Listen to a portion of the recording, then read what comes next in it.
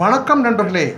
இப்பொழுது நான் சைனீஸ் நக்சி மொழியில் காணப்படும் சில தமிழ் சொற்களை பற்றி உங்களிடையே பகிர்ந்து கொள்ள எண்ணுகிறேன்.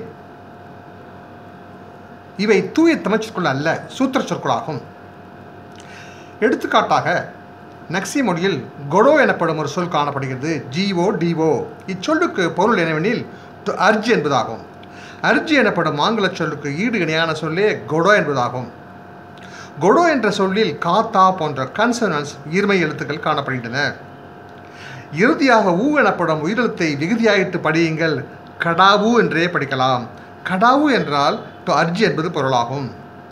அல்லது சூத்திரமாக கொடோ என்ற சொல்லுக்கு விகுதியாக இம் என்ற எழுத்தை இட்டு சூத்திரமாக பின்னிலிருந்து முன்னோட்டு படியுங்கள்.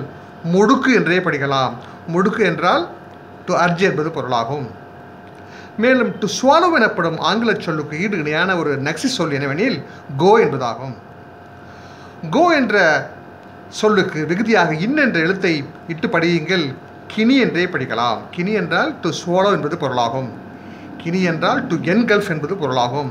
The Tamil word for to urge is கடாவு it is there in Chinese Naxi language as கொடோ the Tamil word for to swallow is Guinea it is there in Naxi language as go thank you friends நன்றி நண்பர்களே. நாம் மீண்டும் சந்திப்போம். வணக்கம்.